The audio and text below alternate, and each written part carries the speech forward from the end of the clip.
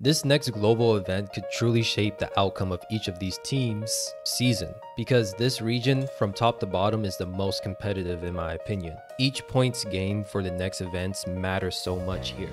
For NRG, it will mean making this super team paid off a lot sooner than Leviathan's, as well as justify the likes of Demon 1 and Ethan. Qualifying will tell us that these two can get it done without the likes of Boostio, Jawgemo, and Potter. It wasn't just EG's system that made them winners, but their skills and results can be transferred to other orgs. And against easier competition than the other three teams remaining, they've looked solid. But the spike in such a precarious spot, there's no chance. What a shot! Nails him straight to the wall. Lambot down, has to know he's there! Through the box! You're joking! That is precise. Yeah, look at this.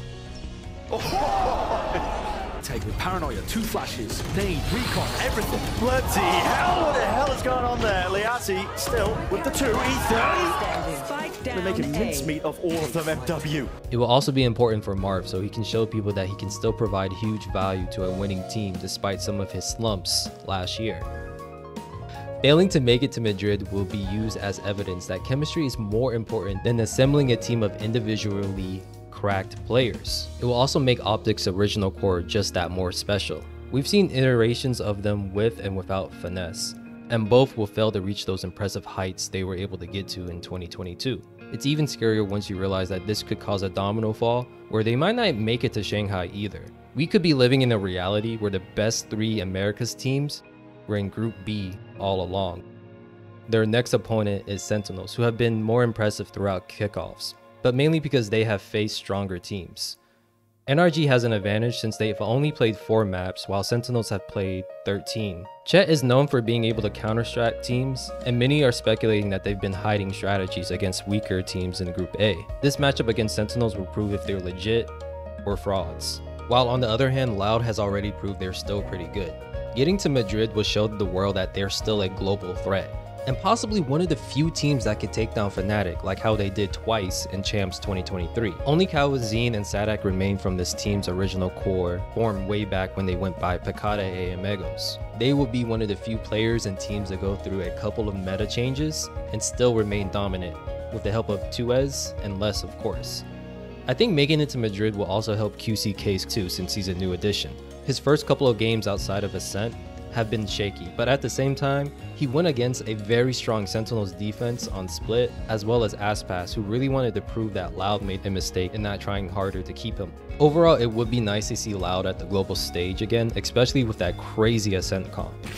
This is a problem to solve. It's the same Util combo. That is deadly. God, the, The nade, the molly. so you can't swing heaven.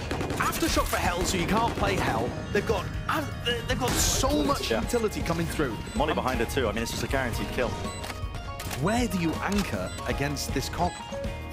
The default composition on Ascent when they won champions, AXX. And it sounds super simple, but if you're amazing at it, it's pretty difficult to stop. Juicy K hunting. I really want to see how it holds up against other top teams in different regions. It could really shake things up on that map if teams choose not to ban it. Failing to make it to Madrid would suck for a number of reasons. The first is that it all but means South America most likely will not have any teams to represent them. It will also hurt their future chances too since getting those points are very important. I could definitely see them qualify for champs if they fail to make it to Madrid, but Shanghai would just be that much harder to qualify for especially since their best map so far in Ascent is next up on the list of places to get rotated out in competitive play. It's safe to say they are seen as favorites in their match against the former world champions, Evil Geniuses.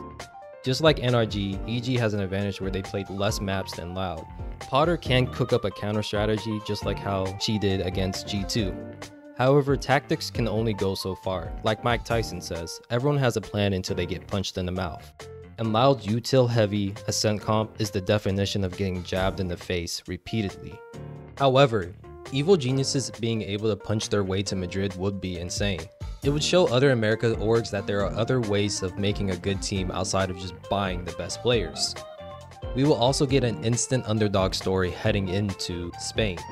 This team is filled with players who were once seen as great, but for one reason or another are currently slept on to a point where they may have not even been competing in tier 1 if Evil Geniuses kept their original core. Getting to Madrid will show that Potter is a solid coach, and yes, the haters will complain about the huge advantage that they got, but other teams did as well, and a good coach would use those advantage nonetheless we already seen some other teams kind of fall short because of coaching decisions in this region. So just having those advantages doesn't mean that any other team would have qualified too. Getting to the next Masters events would be great for the likes of Derrek too, and show that 100 Thieves may have been the problem all along.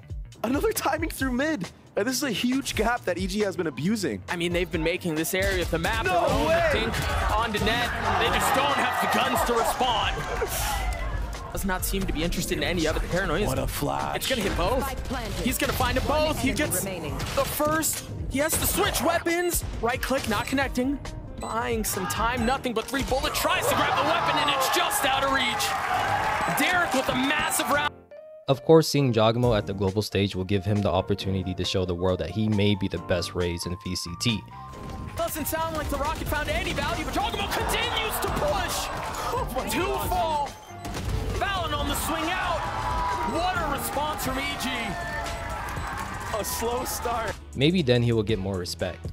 Moreover, it would be crazy if him and Potter are the only 2023 champs to make it to Madrid. The grass isn't always greener on the other side would be a phrase that would echo in the former EG members' heads. They are not seen as favorites though. Failing to make it to Spain wouldn't be the worst thing ever for this team since there's less outside pressure for them to. Basically, a lot of people do not expect much from them.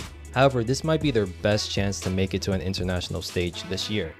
They earned the same advantage that EDG, Paper Rex, and Fnatic did for having the best accolades in their region last year. An advantage that they won't get for qualification stages of Shanghai and Champs 2024. Making it to Madrid and possibly getting some points in the process could be the difference from continuing another Cinderella run or ending their season early. They're going against a red hot Loud team that made quick work of the America's group of death. If EG wants to move on, they have to ban Ascent in my opinion. Loud has just too much utility and momentum on that map. Even then, it would not be an easy task to make it to the final two, which is something Sentinels can relate to. They without a doubt have had the hardest road among all teams, and not just in the Americas, but in all of VCT. If they can book a flight to Madrid, then that would officially mean that they're back, and with authority too. From top to bottom, this team has been looking great. TenZ on Omen has been a fantastic choice. Open the jump spot, we'll see it. Stun, does it force anything out? Yeah, here's the Satchels now. He is in danger, not quite. He is the danger, apparently. Here's to meet them. Satchel across! What a shot by Cryo! Showstopper, though. TenZ is TP'd right behind him. To TenZ now. Tight to the corner. That is ridiculous. The adjustment necessary now from him in second playing the Kever. He's brought it now just to two years. They're not going to be aware. He just taps it, but they can see it. Not sticking it. It's no secret that Sentinels are the most clouded Valorant team in this region, so seeing them and Valorant's current most popular player in Madrid is just a win for most people. I'm personally rooting for their bounce back because of this and because of their A1 social media team. If they fail to make it to Madrid, then it would be devastating to the players and the fans. You can tell they've been putting in so much work in the offseason, which I'm sure other top teams have been doing, but to go from 7th in the America's regular season to possibly a top 2 team in VCT's hardest region just speaks volumes to the effort that they put in. So much can ride from them getting points to qualify for Shanghai and Champs 2024 as well. There are only so many spots that can go out, and you can make a realistic case for each of the 11 teams in the Americas to claim them. Their next matchup is against NRG, who on paper are seen as a top team in the world. Like I mentioned earlier, Sentinels have played 13 maps while NRG has just shown 4. They will need to play out of their minds to overcome this drawback. We have yet to see NRG bust out Raze, and there could be a reason for that. Watch this. Bro. Yeah, here we go. Look at this. Yep. Yo. Never lock in Raze. Demon 1 probably won't be playing her for good reason. He will still be a dangerous factor on any agent, but I'd rather take my chances with another person from their team playing Duelist rather than their best player. So a map where Raze is a must might be the play here. They will also need to ban Breeze or let TenZ go to work with Yoru on that map as well. The stats and eye tests have already told us that the combo of TenZ on KAY/O and Zekken opping on Jett is not a winning recipe. But let me know down below who you are rooting for, have winning, and why. Till then, I'll see you in the next video.